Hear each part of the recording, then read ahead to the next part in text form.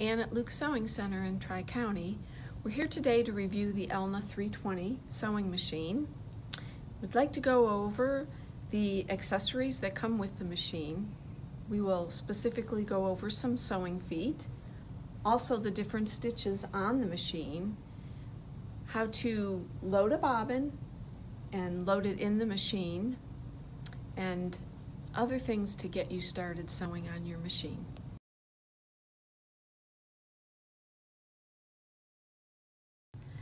Okay, so let's review what's in your accessory box. Let's start up here with your feet. First is your A foot. It's your general sewing foot, but also it has the wider opening for when you do zigzag stitch. Next we have the E foot. It's your zipper foot. Rolled hem is number G. F is your satin stitch for when you do applique. You can use that. This is the sliding buttonhole foot. Comes with a pack of five needles, three empty bobbins, your screwdriver, a brush for cleaning, we'll go over that at the end, seam ripper, your red felt, which will go before you put your thread on the bobbin holder, and the caps, the large cap and the small cap, and then you have an extra spool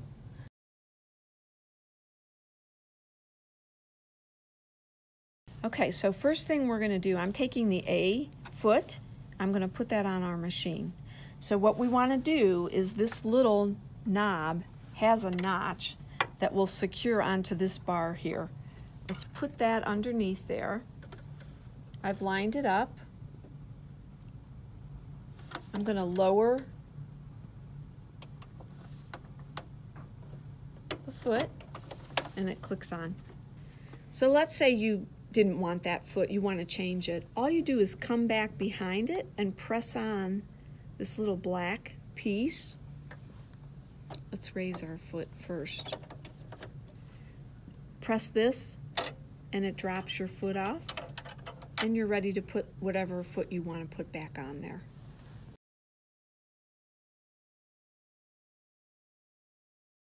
Okay, now we're going to load up a bobbin, thread a bobbin. First we'll put our red felt below the thread. Goes under on top of that. And then I'll take my little cap, came in your accessories, and put that there. So, and grabbing the thread, I'm bringing it around this tension knob right here. Just like that. You'll feel it tighten as you pull it under there. Now I take my clear bobbin Look for the side that has the hole. Bring your thread from the inside barrel of the bobbin and pull it through. We'll take it over to this knob, push it down. I'm going to hold this piece up. Before I do that, I want to mention on the side of your machine this large knob that you raise and lower the presser foot and your needle with we're going to pull that out while we make a bobbin and that will keep the needle from going up and down. First I'll put the needle in the down position by turning the flywheel counterclockwise until that needle's all the way down. Now I come back up and I pull this knob out. You heard the click. Let's go back up to the bobbin to this thread that was started. I'm going to press the pedal and it will start winding the thread around the bobbin after I press the bobbin against this piece here. I'm to let that go, stop it so I can cut this tail, and I'll start the pedal again. You'll see it will evenly fill that bobbin. Okay, this is a demo, so I didn't fill the thread the whole way on the bobbin. But once you're done and it is full, just push that back, cut your thread, pull your bobbin off, and you're ready to put it in your machine. We are going to thread the machine next. So To do that, I'm going to push the flywheel back in. I'm going to raise my foot and my needle. So I'm turning my flywheel counterclockwise, counterwise to get the needle in the most upright position. Let's take our thread. We're coming across behind this first lever right here. The thread goes behind it. You're going to come down the first channel and you have a number two here. It shows you go right back up. It's like a U. Come back up. With my hand, I moved this piece, the hook. We're going to go behind it and kind of pull it. You want to make sure that it hooks in this little piece at the very front. Then we'll bring it down. We're going to come back to where the needle, right above the needle, there's a little piece there that you hook the thread behind there. Now I'm going to lower the foot again because we want to use the self-threader that came with the machine. So I'm going to hold my thread first as I bring down the needle threader. I have it in position. I take my thread. I first want to go to the left of this notch that comes out. Take the thread across and you go, you'll see your thread is right in front of the eye of the needle.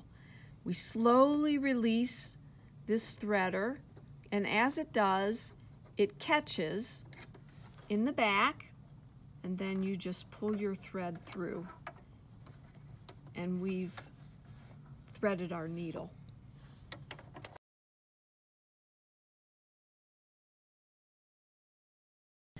Okay, now that we have our needle threaded, let's take our bobbin. As I mentioned, I didn't fill this all the way. Place it in the bobbin holder and bring your thread to this point at the beginning. Again, there's another little arrow on this metal piece that shows you which way you want to pull your thread. You pull it through there. Let's leave it there. You want to leave a little tail. We'll take our clear top, click that in. We're good to go.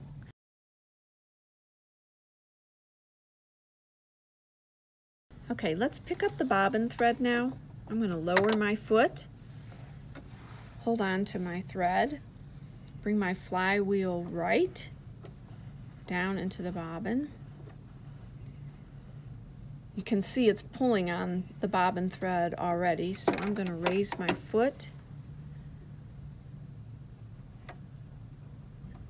And there's our bobbin thread. And that's pretty painless. I put my threads both behind the machine.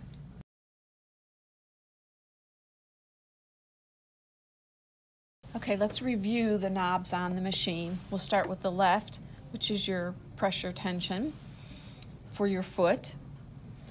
Um, the thread tension, typically at four, although you can adjust it. This top knob over here is your stitch selection. It matches the light blue up here, the dark blue down here. To get it to the dark blue, you put the lower knob on the navy blue down here, and then you can access 10 through 18.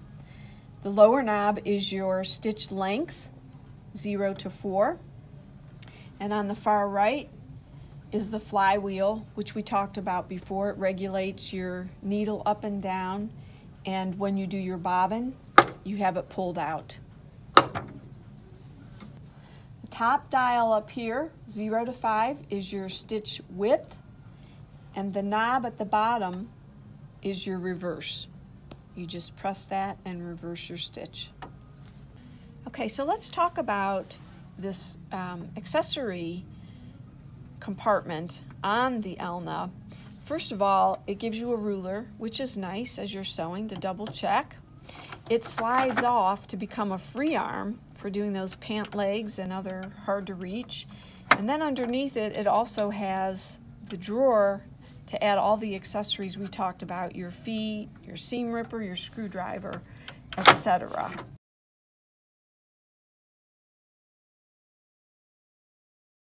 Let's review the stitches now. We'll start on the top row with these first three are your buttonhole stitches. Then we have the straight stitch. Um, two is your zigzag. Three is the triple zigzag. Four and five are for your blind hems. Six, the shell tuck. Seven is the faggoting. And nine is your decorative satin. The stitches in the navy blue are all decorative stitches and all you do is adjust your dial by turning the lower dial to the Navy SS and then you can go in and choose 10 through 18 for those stitches. Okay, I'm going to demonstrate a few of these stitches for you. I'll start with number one, the straight stitch. I have it selected already and I have the length at three and the width at three.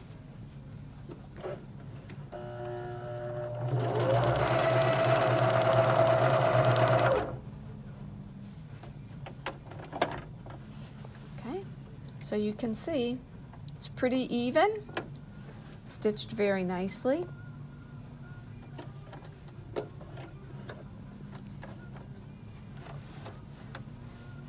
Now I'll cut this and do a zigzag stitch right next to it.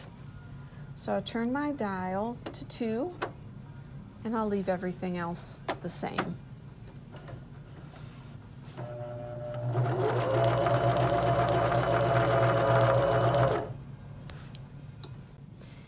Okay, we finished our zigzag. I just want to mention at this point that when you get your machine and it's new, just take a scrap piece of fabric and practice. Go through the different stitches just to familiarize yourself.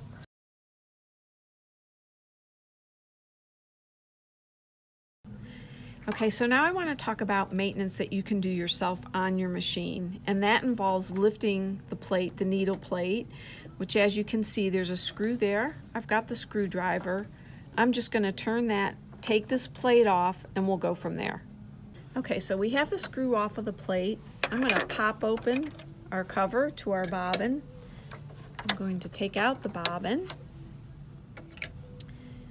And then I'm going to take off the plate. Just keep it below the foot and it slides right off.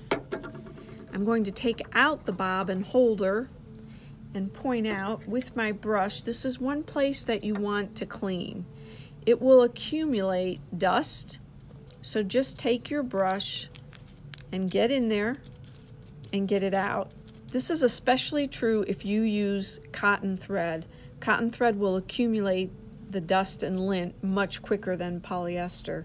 So, and then inside the bobbin, Look at all this lint and dust has accumulated. This will prevent issues for you. Um, that's something you can do at home. The other places, just where you see the dust and the lint, over the feet, back here. If you see any loose threads, sometimes they'll break off and they'll be in here. You want to do that as well and that's something you can do yourself. Okay, so we've got it brushed out and pretty cleaned up. I'm gonna put the bobbin holder back in. Then I'm gonna put the plate on.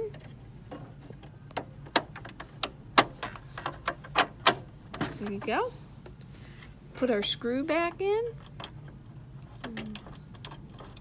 Okay, now I'll put my bobbin in. Run it along the tension, let that tail hang out as I put my cover on. And we're done.